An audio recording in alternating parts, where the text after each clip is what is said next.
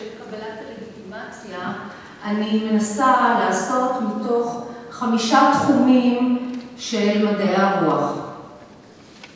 התחום הראשון הוא התחום ההיסטורי. או אולי אני אפילו חשבתי שאעשה כאן איזשהו סוג של מצגת, אבל מאחר וזה היה כרוך בהחשכת האולם, אז ויתרתי על זה. אני רוצה שתראו בעיני רוחכם את מה שהיה צריך להיות על המצגת. למעשה צריכים להיות חמישה בלונים, כמו בספר שאתם קוראים לנכדים, חמישה בלונים שמהם יוצאים כל החוטים על מנת ליצור את הלגיטימציה לקריאה האחרת. אם כן, בלון אחד הוא התחום ההיסטורי, בלון אחר הוא התחום הסוציו-פסיכולוגי, בלון אחר הוא התחום התיאולוגי-פילוסופי, בלון אחר הוא התחום הספרותי, והבלון האחרון הוא התחום המגדרי. וכל אלה צריכים לייצר את הזהות, את הלגיטימציה לקריאה האחרת שלי. כן, בבלון ההיסטורי אני אה, מיקמתי שני חוקרים חשובים. האחד הוא פרופסור יוסף קפלן, שקיבל את אה, פרס ישראל ביום העצמאות האחרון, שהמחקרים שלו עוסקים במצבן של קהילות יהודיות, בעיקר במערב אירופה, אה, במאות ה-16 וה-17. והוא מדבר על המאות האלה, הוא קורא להם עידן הפחד. אה, למרות הרנסאנס, למרות עידן האורות ברקע, החוויה היהודית השורשית ביותר שהוא מזהה זה פחד. למרות שיהודים כבר מסירים את המסכות של האנוסים ומנסים, לא כולם בהצלחה, אבל מנסים לחזור חזרה ליהדותם, למרות זאת הוא מדבר על פחד כ... הייתי אומרת, צל שהולך אחרי הקיום היהודי באירופה הנאורה כבר. התרומה של, של המחקרים של פרופסור קפלן היא בזה שבעצם כל הדמויות היהודיות הגינזבורגיות, כולן אפופות פחד. מי יותר ומי פחות. מי במודע ומי בלא במודע. אבל כולן אפופות פחד שהוא פחד קיומי יהודי. יתרה מזאת, גינסבורג עצמה מודה בספר המופלא שלה, אה, קשה לאדם לדבר על עצמו, שזה מבחר ראיונות שנערכו איתה, קשה לאדם לדבר על עצמו. אה, אה, היא מודה שחוויית הפחד הייתה חוויה מאוד תשתיתית, גם בחייו של אביה, למרות שמי שקרא כאן את לקסיקון משפחתי וזוכר איך, איך ג'וזפה לוי מסרב בכל תוקף לקבל תעודה מזויפת בזמן הכיבוש הנאצי. והשם לוי הוא די מזוהה, כמו שאתם יודעים. אם כן, למרות אומץ הלב הזה, חוויית הפחד היא תשתיתית מאוד בבית. האבא תמיד דואג, תמיד פוחד, תמיד פסימי. ואותה חוויה עוברת גם לחייה. כמובן שהיא גם, יש לה אחר כך מה שנקרא בסיס טוב להתעשר עליו, כי אה, אה, גינזבורג עוברת גירוש ובעלה נרצח על ידי הגסטאפו בכלא רג'יננצ'לי ברומא. זאת אומרת, יש לה פחד על מה להסתמך, אבל עדיין זאת חוויית פחד, וזהו פחד יהודי מאוד מאוד מסומן. אה, מן התחום ההיסטורי אני גם נעזרת במחקריו של פרופסור שמואל פיינר, שהוא מומחה לתורת, לתקופת ההשכלה, והוא מדבר באופן אה, מאוד מאוד נרחב על פריצתו של הסופר היהודי, העברי בעצם, לקדמת הבמה של החיים היהודים בקהילה. ופריצתו של הסופר העברי לקדמת החיים הקהילתיים יוצרת שתי מהפכות מאוד חשובות. האחת זה ערעור סמכותו הבלעדית של הרב האורתודוקסי כמשפיע יחיד על חייה של הקהילה.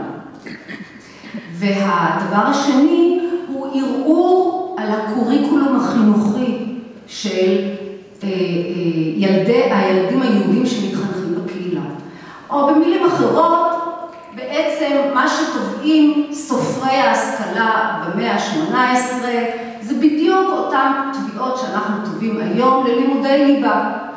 הם מבקשים שלצד לימודי הקודש יהיו גם לימודי חול, כלומר שהילדים הבוגרים את מערכת החינוך של הקהילה היהודית ידעו גם מתמטיקה וגם ספרות וגם אה, אה, מוזיקה וגם גיאוגרפיה וגם שפות ושבעצם יוכשרו להיות חלק מאוד מאוד פעיל ותורם בחברה הכללית שבתוכה קיימת העיירה היהודית.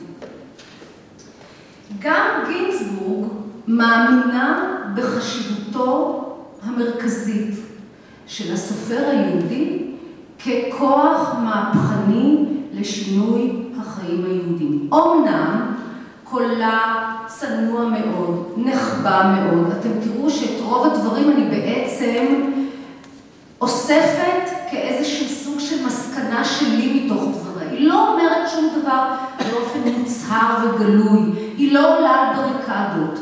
לא רק, מפני, לא רק בגלל חוסר הביטחון הזהותי שלה, אולי גם מפני שהיא אישה, אולי גם מפני שהיא מוכה מאוד, כן, החיים לא אה, היטיבו איתה. כך או אחרת, נראה לי שבאמת היה ראוי להשמיע את קולה לגבי מעמדו של הסופר היהודי כאיש של אה, מהפכה או כאיש ששם סימני שאלה על, ה, על סולם הערכים היהודי המסורתי והקבוע. אה, מן ה...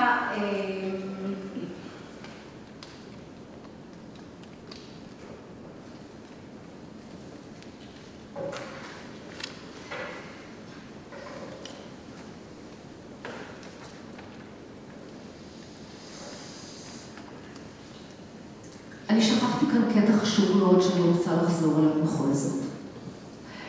אה, כשאמרתי שכל החוקרים, חוקרי הספרות, טוענים שאין שמץ יהודי בכתיבתם כמעט, אני רוצה גם להוסיף כאן בסוגריים את דעתו של פרימו לוי לעניין הזה.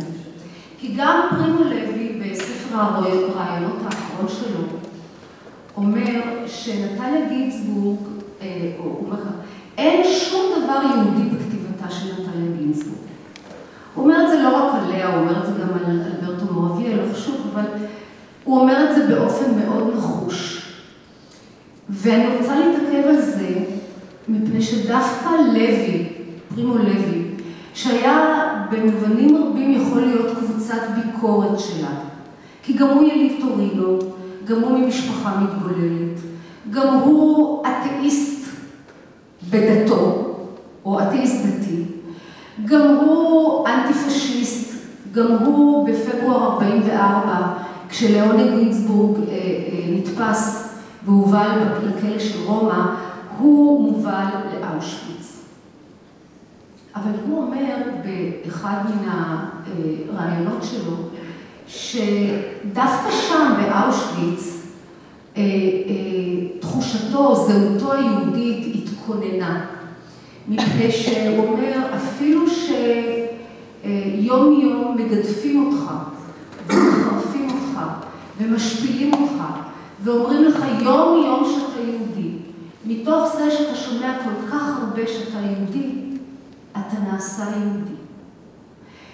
ודווקא פרימו לוי הזה, שמבין כל כך טוב ולעומק ובכאב גדול את חשיבותו של הקול החיצוני כקול מאשר זהות,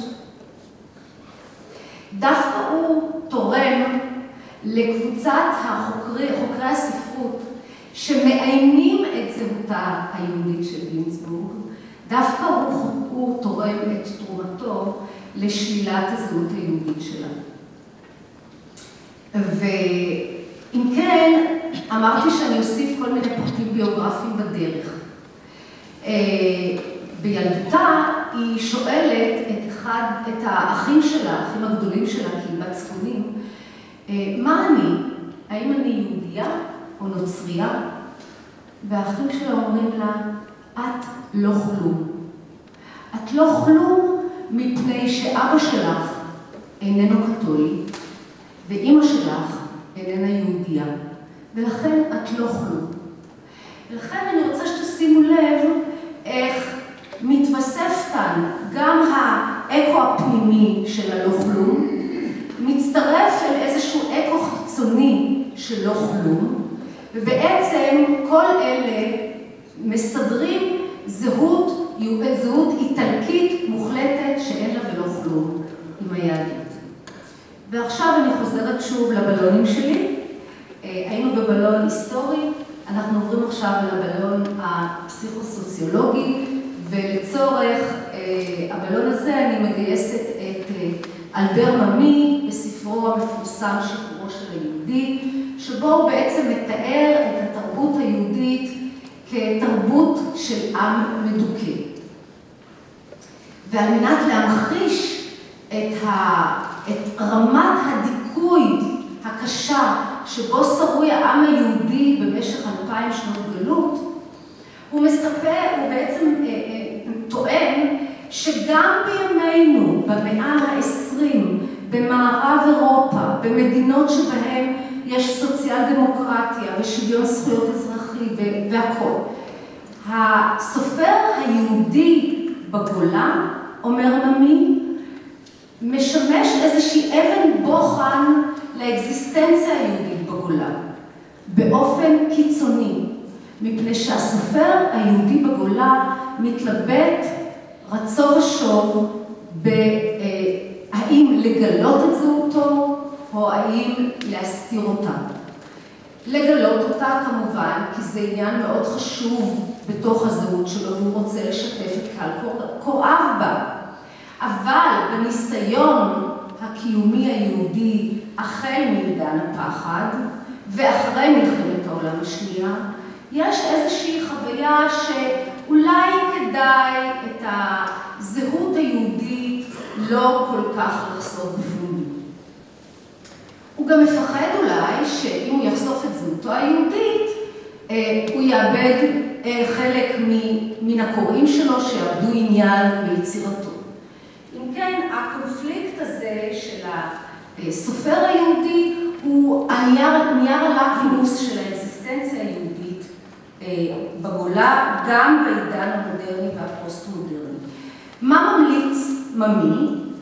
ממי ממליץ לנו שכאשר אנחנו באים לקרוא יצירות ספרות של סופרים יהודים בגולה, כדאי לנו לשים לב לשני דברים.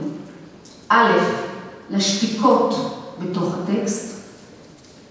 בדרך כלל השתיקות, כמו שראינו במקרא, בשוב, בארצות הקודמות שיש שתיקות, הן מאוד מאוד משמעותיות. והדבר השני שהוא מאוד ממליץ, זה לבדוק מהם הנושאים היהודיים שהסופר היהודי עוקף ולא מדבר עליהם. גם זה מאוד משמעותי בטקסט. זאת אומרת, הוא בעצם אומר לנו, ככל שהסופר היהודי שותק יותר, או עוקף יותר את העיסוק בעניינים יהודיים, כך הוא יותר יהודי. מן התחום השלישי, מהבלון השלישי, מהתיאוריה הפילוסופית-תיאולוגית, אני אה, נעזרת בספרו החשוב של פרופסור אבי שגיא, שכבר ראיתי שהוא יוצא כאן שנה הבאה.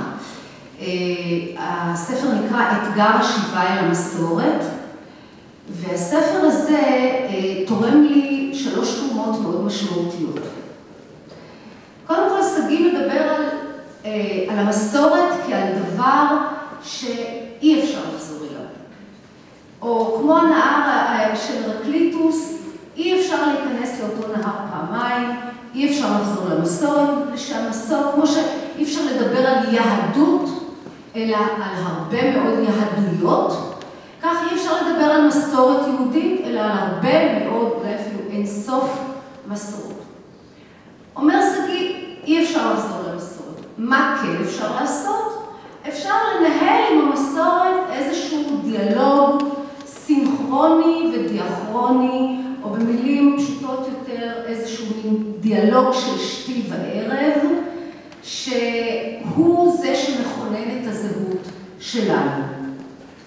למה, כלומר, אם אני צריכה להדגים את זה, אז נגיד, אם אני לוקחת את עצמי כדוגמה, אז אני מנהלת איזשהו דיאלוג עם המסורת היהודית-פולנית-רוסית של הוריי, שאולי אה, מגיעה למסורת ארוכה של רבנים, אפילו לטענת אבי עד הגאון מווילנה, ויחד עם הדיאלוג הדיאכרוני הזה, אני גם מנהלת איזשהו דיאלוג סינכרוני, וכלומר, אה, יש עוד דברים בהווה שחשובים מאוד לבניית הזהות שלי, כגון אה, אני אגנוסטית, אני סוציאל דמוקרטית, אני אוהדת את הירוקים, אני אוהבת את קט סטיבנס, אפילו שהוא תסלם, הוא אפילו קצת אנטי-ישראלי. אני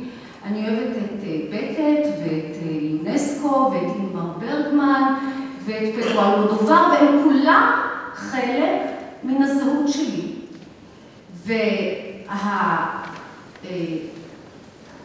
והחלקים האלה, הקומפוננטים האלה של הזהות, הרבה מאוד פעמים יוצרים התנגשויות מאוד לא פשוטות. אבל דווקא, אומר שגיא, וגם ולדימיר ינקלביץ', דווקא המקומות האלה, שמעוררים שאלות, שמעוררים קונפליקטים, שנשארים בלתי פתורים, דווקא המקומות הפעורים האלה, אלה באמת המקומות החשובים והמצמיחים והפוריים ומלאי ההשראה של התפתחות הזהות הבוגרת שלנו. אם כן, שגיא תורם לי א', את האמירה שאין מסורת אחת, אבל הוא גם מדבר על החובה החשובה לייצר לגיטימציה להרבה מאוד שפות דתיות מקבילות בחשיבותן ובמעמדן. פלורליזם של ביטוי דתי הוא דבר שאנחנו חייבים לכונן ולשאוף אליו. הדבר השלישי ששגיא מחייב, אה, אה, מדגיש בתוך יצירתו, שמאוד הפתיע אותי אה, גייסתי אותו לצורך התזה שלי, הוא אומר שבמקומות שבהם הקורדינטות ההלכתיות חדלות להתקיים כיוצרות זהות, קרי אצל אנשים חילונים, במקומות שבהן הקהילה גם היא איננה יכולה יותר לשמש עוגן של אה, הזדהות וקרבה ושייכות. המשפחה היא הגורם החשוב, המרכזי והקובע בכינון זהותו של אדם. ואני מחזירה אתכם אל הפרטים שכבר ציינתי קודם, שאנחנו מדברים על משפחה שאין בה שום טקסיות, שום קשר עם משפחה מורחבת, שום קשר עם טקסים אה, או ריטואלים, לא בכנסייה ולא בבית הכנסת. אה, התיאוריות הספרותיות שמסייעות לי מאוד אה, הן התיאוריות של מיכאל, ממיכאל בכטין ועד ז'אק דרידה, ולמעשה התיאוריות הללו פותחות את הטקסט לאין סוף אפשרויות. בכטין מדבר על רב קוליותו של הטקסט כדי לתת לגיטימציה לרב קוליותו של הסופר, שיכול לכתוב דבר והיפוכו בתוך הטקסט שלו, מפני ששני הקולות הללו לפחות, אם לא הרבה יותר, מתרוצצים בתוך נפשו. ולמעשה אומר בכתין שרב קוליותו של הטקסט שבא לידי ביטוי ביצירתו של סופר פלוני אלמוני, היא גם רב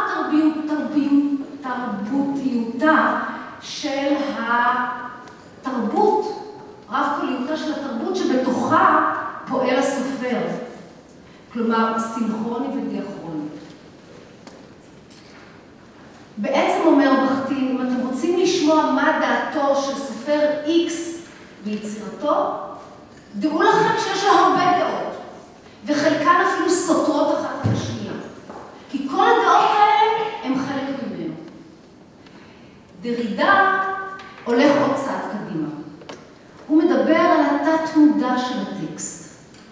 והוא בעצם אומר שככל שהפרשנות היא יותר חתרנית, ככל שאנחנו נסכים להיות פחות אה, אה, נחרצים לגבי הסדר ההיררכי של הפרשנות, אם אתם רואים בעיני רוחכם למשל את דף חומש, שבצד אחד